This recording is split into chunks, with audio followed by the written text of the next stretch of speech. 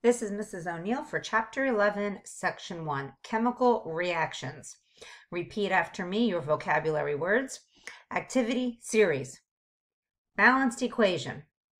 Catalyst. Chemical equation. Coefficients. Combination reaction. Combustion reaction. Decomposition reaction. Double replacement reaction single replacement reaction, and skeleton equation. So you should watch the rest of this video and write down those notes and then define those terms either by looking in the chapter, uh, which I strongly suggest, or the glossary in the back of your book. And of course, that vocab quiz might be coming in the future, matching as usual. So section one deals with describing chemical reactions. So we really want to take the time to understand the parts of a chemical reaction or a chemical equation or a chemical change. You're going to kind of hear those words interchangeably. Haha. Um, so anyways, uh, so, so you got to understand what the reaction or equation is and the parts of it before we can even dive into balancing them. So in this particular section, you're going to be able to label the chemical equation with all its parts. You're going to describe how to write a word equation and the steps for writing and balancing a chemical equation. So you should have watched that intro information on Beginner's Guide to Balancing Equations. Here are my notes. So he talked about the Hindenburg reaction and it's really a combustion reaction. So you also want to look at an equation. So this is the Hindenburg reaction because if we add oxygen to anything, that's really a combustion or a burning reaction. We want to remember he told us that we never can change the subscripts of our formula. So if we looked at H2O, that's always going to be water. But if you put H2O2, that would be hydrogen peroxide. So you can never change the formula of that substance. You can only change coefficients. And what I liked what he did is he also showed you the molecular models of them. What does it really look like on the inside? What do those substances look, whether they're elements or compounds? Then he did again a methane reaction, not only showed you the reaction in formula way, which that's how you're going to see it all the time. He also did it on the molecular way, that visual, which is really, really nice. And then he balanced it. So, did you practice with him? He did four more reactions. And if you didn't practice with him, you might want to pause and try practicing doing what he did, his steps. All right, so maybe you did it either with him or you paused and did it now, but here are those answers. And so that's what this section is going to be all about, putting the um, coefficients, those big numbers, coefficients, uh, in front of substances in order to say that the left side equals the right side. So off to your notes packet. On May 6, 1937, the huge airship Hindenburg was headed for its landing site in Lakehurst, New Jersey, after an uneventful transatlantic crossing. So here's this blimp, as you would maybe call it, and across the Atlantic Ocean, now is in New Jersey, and uh-oh, suddenly, to the horror of observers on the ground, the airship erupted into a fireball. Within a short time, 210,000 cubic meters of the airship's lifting gas, hydrogen, had burned and the airship was destroyed. The chemical reaction that occurred can be described as hydrogen combines with oxygen to produce water.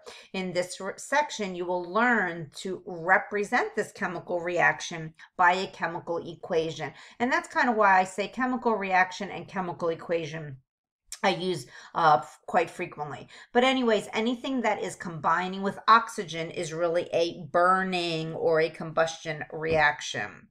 So pause the video, read as you write, fill in those blanks, and then play to hear my words. So a substance, I'm always going to refer to everything that you see in a chemical equation is considered a substance. Well, that substance can be an element or it can be a compound. And this is going to be really important to understand, especially when we get later on in this chapter when we have to, to give types of reactions. So if we can identify those substances in our equation as an element or a compound, it's going to help us understand the type of chemical equation it is.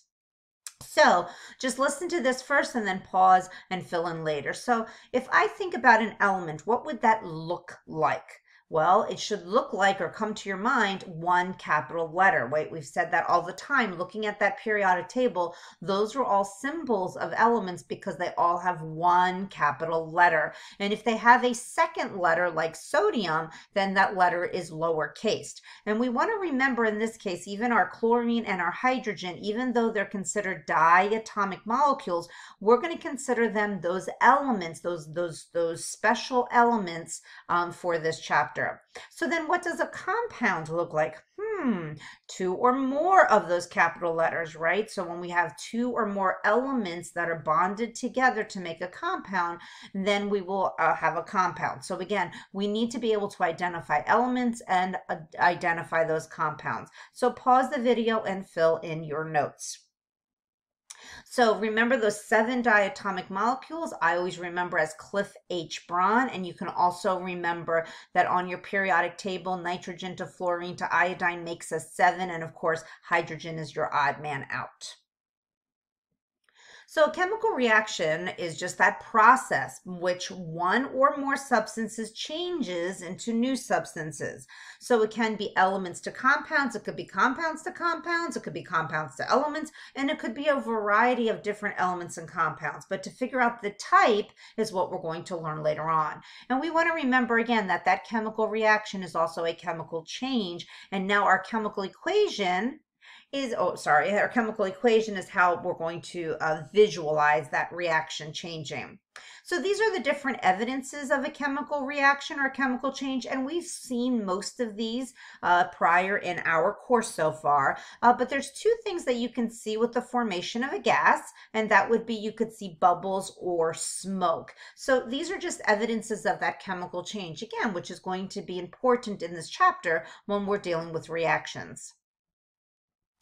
There it is. There's our chemical equation I was talking about. This just shows us our formulas and our symbols of our reactants, which what we start with, and our products, which we end with. So an equation is just going to show us using those symbols, just like Bozeman Science. He actually showed us with, um, I know I call him Mr. Bozeman, but it's Mr. Andersen. Uh, he showed us visually with uh, the symbols of those elements and compounds, but he also showed us those on the molecular level, what does those molecules and atoms really look like. So the reactants is what the substances before the reaction takes place. They're going to be to the left of that yield sign. Products are going to be those things after the reaction takes place. And again, they're going to be to the right or to the right of the arrow, right of that yield sign. I always say you have to make a product, right? You're probably using paper or you're using a pencil or a pen, right? Those are all products. You might be sitting on a chair. Those are all products that are made from the reactants that they came from. So I always remember products are at the end. They're going to be to the right of that yield sign or arrow. So this is how the overall reaction looks like. Reactants yields products. So we just want to remember R to P. So those coefficients are what we're going to use to balance the reaction. Those are going to be the only numbers that we can change. And in the next part of this chapter, you're going to learn the difference of those subscripts versus coefficients and how they play a part on those elements in those substances. So those are the only numbers we can put in front of the whole entire formula of our substance in order to balance the reaction. And these are going to be different symbols that you're going to see in a chemical equation. So the biggest one you always see is the yield. Now the G, L, and S, what phase they're in, sometimes you see them and sometimes you don't. At this stage of the game, they're not that important, but you still might see them in your practice problems or in your bookwork problems. Uh, so I want to make sure that, again, they're not playing a part in the balancing of the reaction. They're just there to tell you what type of substance it is. Now, AQ might be something new that you've never seen before, and that's aqueous. And that just means I've taken that solid material, usually it's a solid, and I dissolved it into water. So I've actually made a solution.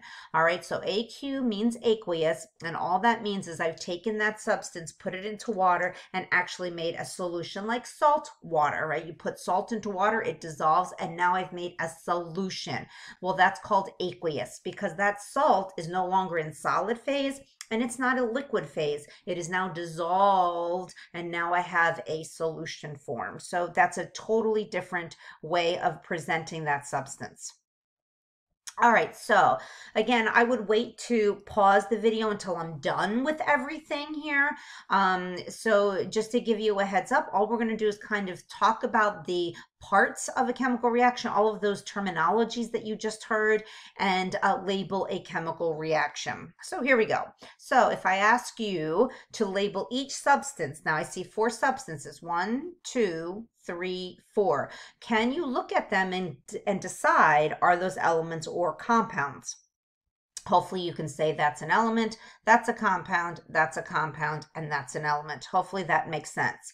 My next question is, what are these two substances that are to the left of the reaction? Well, those would be considered reactants. Hmm.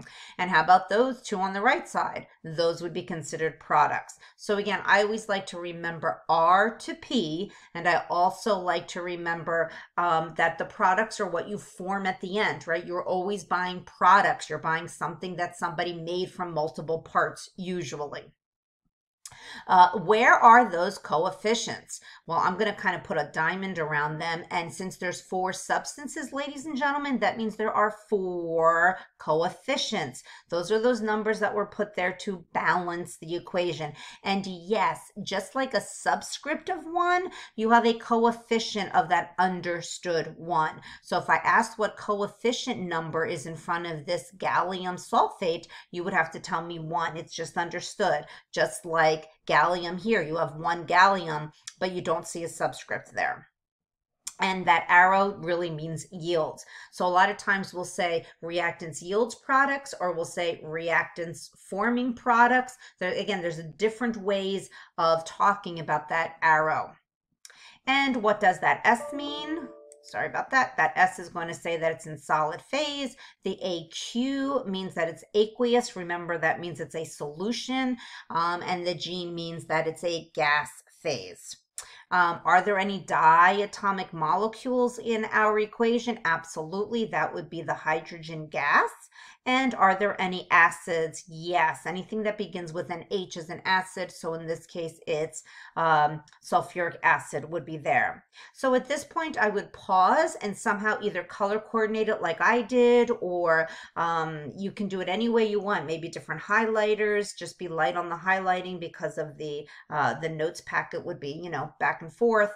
Um, so just pause the video and make sure to get that information on how to label those parts of a chemical reaction. All right, hopefully you labeled, hopefully all of that makes sense. Uh, now that you've learned that terminology, hopefully you can um, understand the parts of a chemical reaction. All right, guys, we will see you in class.